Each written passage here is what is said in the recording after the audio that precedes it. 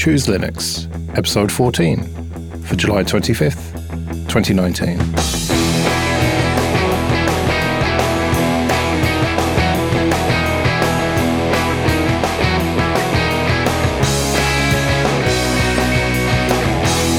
Hello, and welcome to the show that captures the excitement of discovering Linux. I'm Joe. I'm Drew.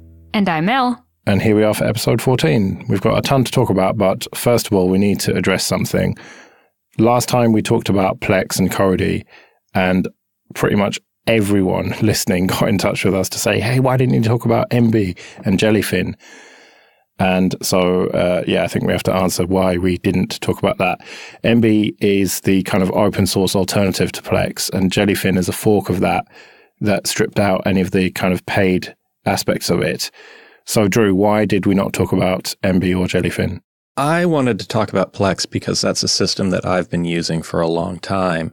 And I do have a lot of family and friends that do connect to my services. So for one, moving them over to something else would be quite a bit of work on my end and their end. And a lot of my users are not really hyper technical.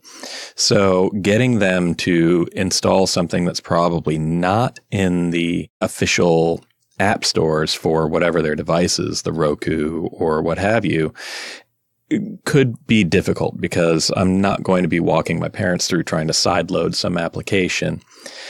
Uh, on top of that, the application ecosystems just are not where I want them to be yet for either one of those applications. Now, to their credit, Jellyfin did reach out to me on Twitter and answered a few of my questions regarding their direction. And I am happy to say that they are working on their app ecosystems. But there's still no support for certain consoles. That's right. They are not targeting the Xbox or the PlayStation 4 at the moment, or really any other consoles, due to the difficulty in getting apps into those app stores, which is very unfortunate for me, especially because a lot of my friends are using consoles as their main media consumption devices these days. And until that particular aspect is resolved and they can start using those devices, it's unlikely that I'll really be able to switch. Well, that sounds reasonable. And so there's your explanation, everyone who wrote in. So, can I say, for the love of Linux, please stop emailing us about it now? yes, yes. Yeah, we know. All right, well, let's start this time with Endeavour OS. Now, it wasn't long ago, I think it was maybe a month or so ago, Antergos announced that they were shutting down. And Antergos is the easy way to install Arch, essentially, with some value add as well, to be fair. And around the time of the announcement, shortly afterwards, a group of people said, Hey, we want to continue it. And we're going to call it Endeavour OS. And I was skeptical, I must say, that it was going to actually happen. But about a week ago, they released their first stable release. So I thought we'd better check that out, especially as it's got XFCE. And I must say, I was quite impressed with it. But Ell, you had some problems, right? Okay, so I will just be straight honest and say I have never used Arch before. So I was going into trying this completely new. And, you know, I always say it's okay to be new. So I thought, why not just jump in? Don't do it in a VM. Don't do it on a backup machine. Just kick to it and use it. So I've been on Pop OS for two months and I wiped everything off and going through the install process, I was really excited. I kept hearing about how difficult it was to use Arch because half the journey was just switching over to it. The prompts were really easy. It even gave me the option of dual booting. It's like a little slide bar to, you know, how big you want what partition to be. Everything's going great. Take out the USB, restart, and I have no Wi-Fi. Like it looks like the Wi-Fi card is just non-existent. So I'm on my phone and I'm looking and I'm running into other people who've had the same issue and they're just like, you know what? Turn it off and turn it on again. And I didn't know that was actually a solution on Linux, but that's what I did. and when I came back, it was there and I was like, okay, we can get started. We can kind of start moving around. And the first thing I usually do is jump in and just kind of change the way things look to fit the way that I like it. And I'm a very dark themed kind of person. I loved how easy you just left clicked and all of the prompts were there to change backgrounds, to change the color themes, to change your toolbar. But then I wanted to configure my headphones and I use Bluetooth headphones. Well, trying to use Bluetooth headphones on Linux is just a disaster in my experience. So I'm not surprised you had problems. I didn't realize how difficult it would be. Every other system I've used has just been click on the Bluetooth button and connect them. But this was like, okay, you need to install, you know, bluez and BlueUtils. And even when I did that and it's restart the service, the service wasn't there. And I'm looking through the log files. And I have to say that I, I did hit the limits of my ability to know how to troubleshoot.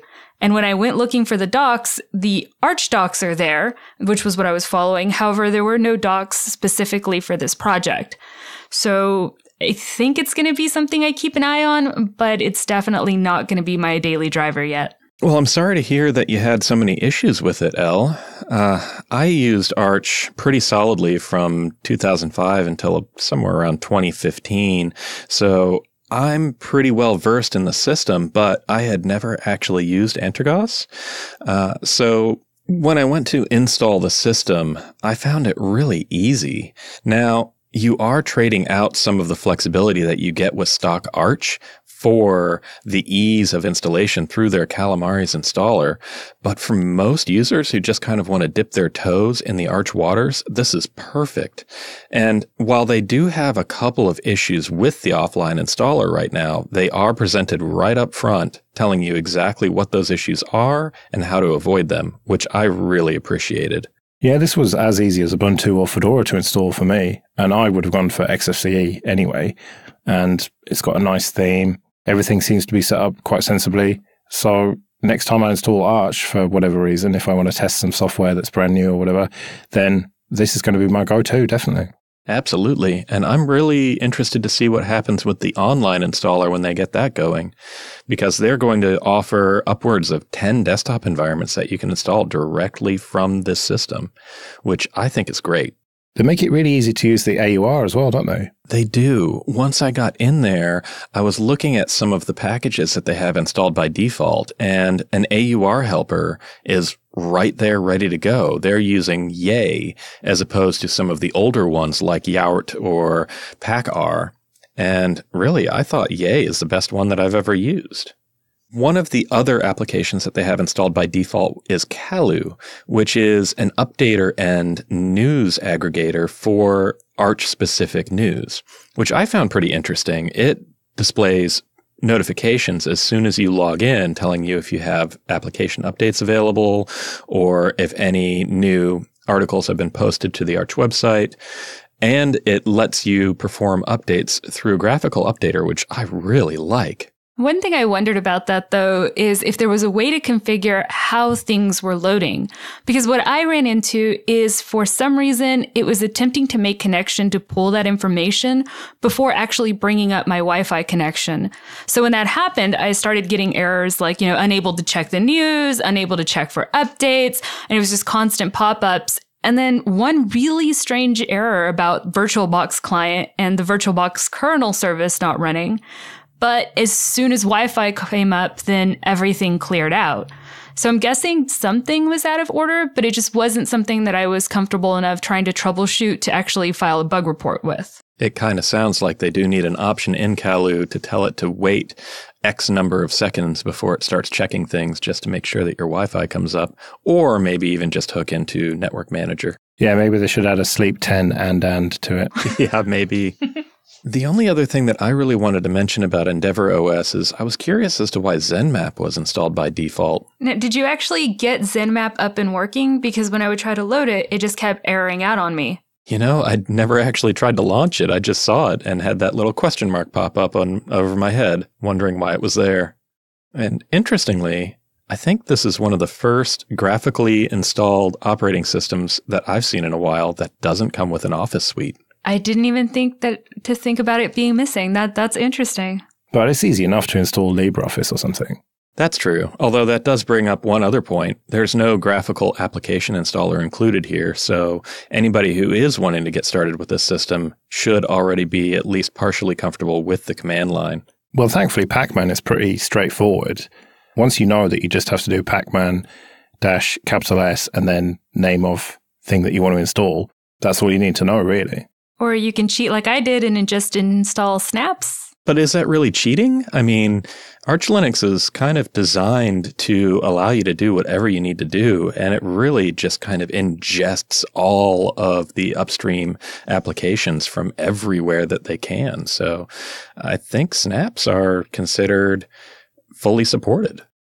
All right. Well, I wanted to talk about something that I've rediscovered recently, and that is NewPipe. And this is uh, an Android app which is open source and it's on F-Droid, or you can just download the APK if you want to.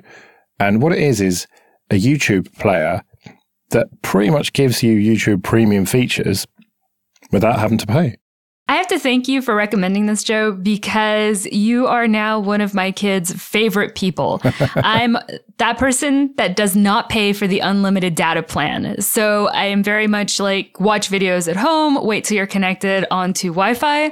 So it's now on each one of their phones, and they love the ability just to go in and download YouTube videos.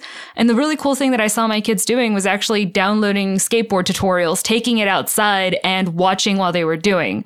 So it was a really nifty function that I don't have to pay for. So I'm really happy about it. I love this as well, just for the feature where you can have it play in the background rather than having to keep that YouTube app up and your screen on the entire time you're trying to listen to something. It is great for if you're trying to just check out a podcast or something real quick without having to, you know, sign into YouTube, have it up on your screen and using up all your battery life. Now I can just set it and forget it and go mow the lawn. Yeah, I use it to watch a lot of news content where you don't really need the video. It's mostly just people talking or political discussion and stuff like that, and um, like scientific lectures and all sorts of stuff and music as well sometimes. So that background feature is just amazing. Also, I love the fact that you can choose the quality. I was out at the gym the other day and the Wi-Fi there is so terrible that even on the lowest quality, I couldn't stream it. I think I have four gigabytes of data per month. So I, I can't remember what I was watching now. I, was I think I was watching some news thing or whatever. And um, by being able to set the quality to uh, 144p, which is just really terrible quality, but it was good enough for what I wanted to watch at the time. I was able to save a ton of data that way. And what I also love about it is you can subscribe to channels without having to have a YouTube account or a Google account. And you can even import your existing subscriptions from the YouTube app. They make it really, really easy to do that. Oh, wow. I hadn't even found that feature yet. That's great. The only thing I miss from the official YouTube app is the recommendation algorithm, which is kind of hit and miss, really. And it has some good points and some bad points. Obviously, it means that Google are farming all your data. But I do actually find that quite useful sometimes when they recommend you'll kind of watch one video and then you'll get a bunch more related to it. And a lot of the time it's annoying, but sometimes it's really useful and you end up with loads of interesting videos. And so you don't have that feature in here, but I think a lot of people who care about privacy and stuff would not care about uh, the recommendations. Besides, that's how you get stuck in a loop. Just video after video after video, and then all of a sudden, it's morning. I thought that was the point of YouTube. you know, one last thing I wanted to mention that I had a bit of fun with was the ability to make playlist, and it was really simple. I just went to the video that I wanted, made a playlist, told it which one it wanted it to belong to. So by the end of it, I actually had, you know, more of a professional playlist of things I wanted to follow. And then I had a music one. And I think halfway through, I started thinking, you know, I could probably cancel my Spotify uh, subscription at this point. Well, the fact that it's basically giving you YouTube premium features, I would imagine, is why it's not in the Play Store and why you have to get it from F-Droid. And I would recommend getting it from F-Droid so that you can stay updated rather than just downloading the APK. But one feature that I like, it's, it's only a little thing, but it's really nice. If you're on a videos page, then you've got either the comments or then you can just swipe to get the related videos and then you can swipe back again. And it's just a nice little UI touch that um, they've obviously thought quite a lot about because I had used it before. It must be a couple of years ago, and it just it was good, but it wasn't quite as polished as it is now. It just seems like a really finished product, really. Like something that is just can compete with the proprietary app that it's kind of replacing. So I would highly recommend it. Do check it out, NewPipe. Okay, distro hoppers then. And last time the random distribution button on DistroWatch gave us PiSi Linux or PiSi or whatever. And this is a Turkish distribution that seems to be obsessed with cats. So, how did you two get along with it? You know, I, I had a great time. I don't know if you caught on that the reason that everything is cat based is because it's based on Pardus Linux, P A R D U S, which is the Turkish word for kitty. So they're just kind of having fun with the theme. Um, I did have to go look to see how it was named, and it actually stands for packages installed successfully as intended. So I had a lot of hope, and it, the install process was pretty much the way that everything you would expect. And then once you get the install done, you're greeted by Kaptan, which is just kind of like your own personal guide to setting up your workspace. I think this is a wonderful product or kind of wonderful tool for anyone who is new because it walks you through setting up, you know, what do you want your click behavior to be? What should your button behavior be? Do you want widgets, your color scheme? It, to me, once you're able to personalize your environment, like I've talked about before, it just kind of really becomes your environment in your desktop. So that was a really wonderful tool that I was excited to see. You know, I was really impressed by this tool as well. And in fact, I went and took a look to see uh, if this was something that originated in uh, PiSi Linux or PiSi Linux. And sure enough, it is. This is a bespoke tool that they have written that it appears some distributions are starting to adopt as well. And it really does a great job of setting up the default Plasma environment in a way that is attractive to individual users. Like you can select where your bar location is, as well as the other things that Ell mentioned. And it is really, really slick. I was very impressed with that. Now, Ell, you had some trouble with package installation, isn't that right? So it's kind of funny that the distribution is called packages installed successfully as intended. And that didn't happen at all, ever. It, I had to go in and first of all, all of the help docs are written in Turkish and I could not find their English counterparts. So I'm having to kind of do a Google Translate on the page.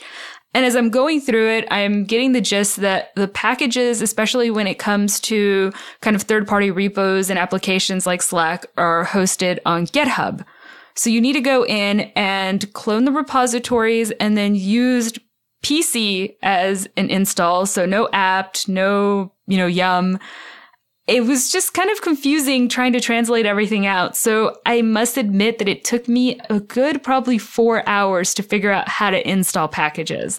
How did you guys fare? I was much quicker than that. I just used the GUI package manager and um, managed to get stuff installed really quickly after about 10 minutes. Not even that.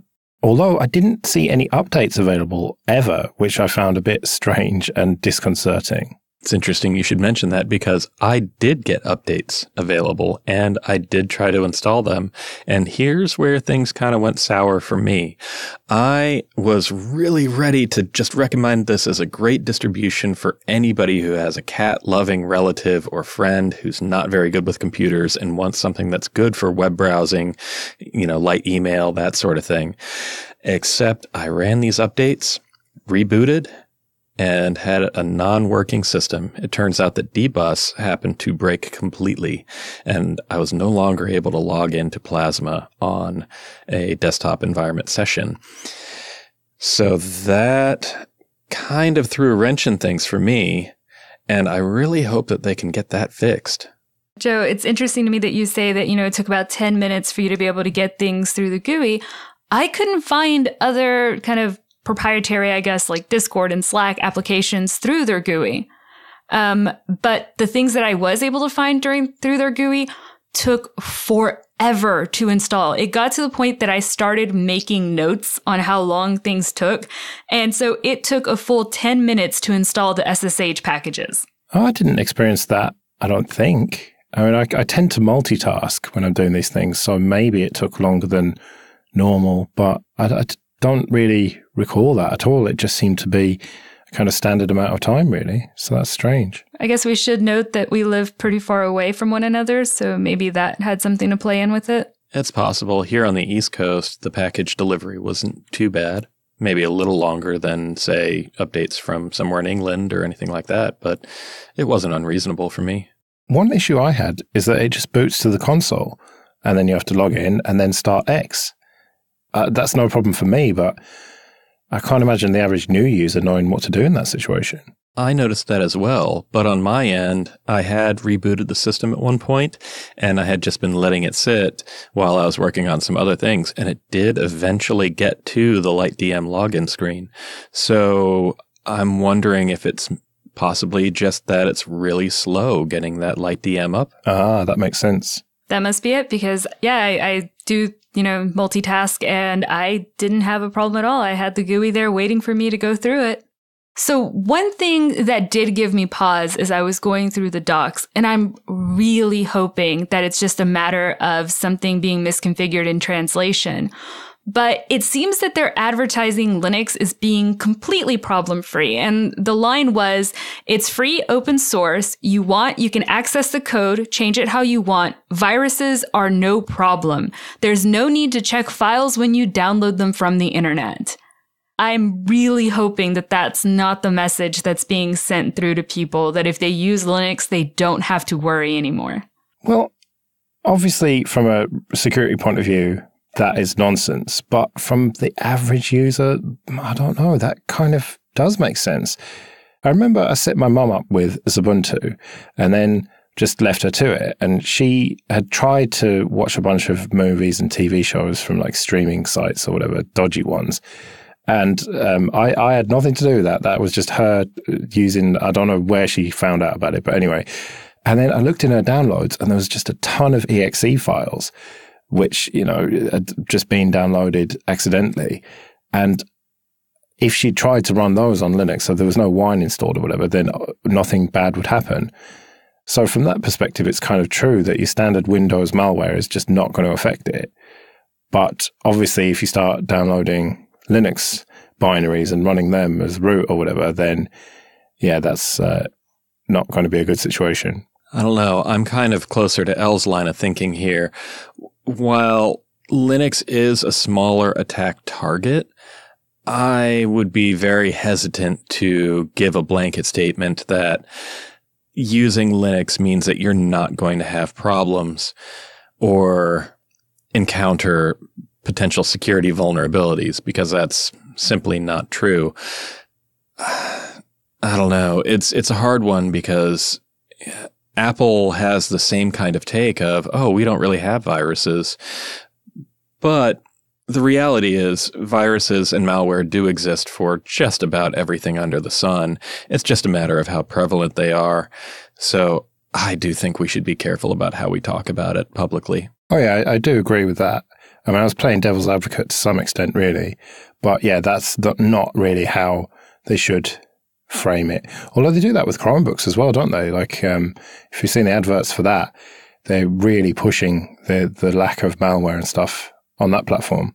Know, I just feel that if we keep with the conversation like this and we keep advertising Linux as being the platform that doesn't get the viruses, all we're doing is creating a problem where that's where the attackers are going to be focused. You know, as businesses and as more and more people are moving towards Linux and Chromebooks, obviously they're going to start changing malware and adapting viruses to target the spreading platform. Yeah, but unfortunately, our market share is still so low. Maybe not with Chromebooks, but with sort of standard GNU slash Linux. It's so low still compared to Windows that I think it's going to be a long time before that happens, which is kind of good and kind of bad at the same time. yeah, I think that's a, a good way of saying it. So we could be hipsters and say we were using Linux long before the viruses found us? yeah, definitely. So, all in all, then, uh, it's not going to hang around on any of our machines, I don't think, and we're not going to recommend it to anyone. But it was interesting to see a completely different distro and how they do things. So, yeah, that was pretty cool. Um, all right, so let's go to Distro Watch again then and click the random distribution button.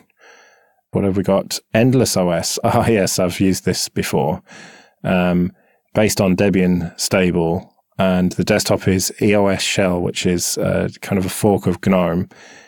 And um, yeah, it's a read only root file system managed by OS Tree. And um, yeah, this is a very interesting distro, actually. This should be pretty cool. I take it you two have never used this. I have not. Not yet. Cool. Well, that should be a good one then. Okay, well, we'd better get out of here then. If you want to get all the future episodes, go to chooselinux.show slash subscribe, and there's various ways to get those. And you can go to chooselinux.show slash contact if you want to get in touch with us. And you can also follow us on Twitter. I'm at L underscore O underscore punk at LO punk. I'm at Drew of Doom. And I'm at Joe Ressington. We'll be back in two weeks with more exciting discoveries.